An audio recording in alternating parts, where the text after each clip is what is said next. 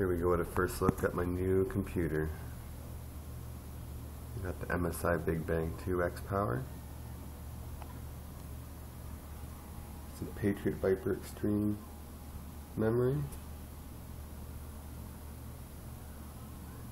3820. I'm Gonna get that new black cooler white carbon fiber. There's a nice box right there.